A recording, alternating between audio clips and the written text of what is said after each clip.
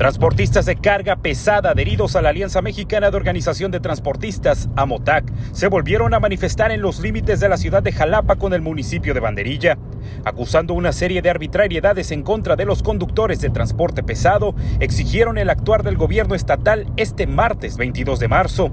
Cerca de la colonia 21 de marzo, los transportistas acusaron ser víctimas de asaltos, amenazas y atentados por parte de la delincuencia. Y por si fuera poco, son presas de la corrupción de los funcionarios de la Dirección General de Tránsito de la Secretaría de Seguridad Pública.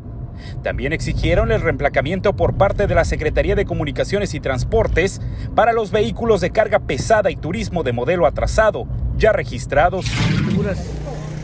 Pues yo creo que ya no vamos a hablar de nada más de un estado o de una zona, voy a hablar ya de todo México.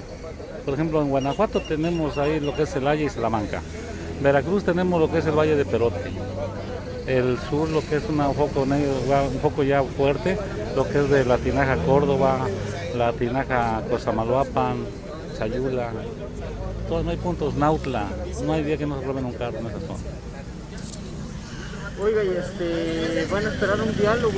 Pidieron prohibir la circulación de vehículos doblemente articulados que ocasionan miles de muertes por accidentes diariamente. Otra de las peticiones principales fue la solicitud de mayor plazo para el complemento de la carta aporte al señalar que no cuentan con los requisitos para cumplir con las nuevas disposiciones del servicio de administración tributaria. Informó para Imagen del Golfo Jorge Briones.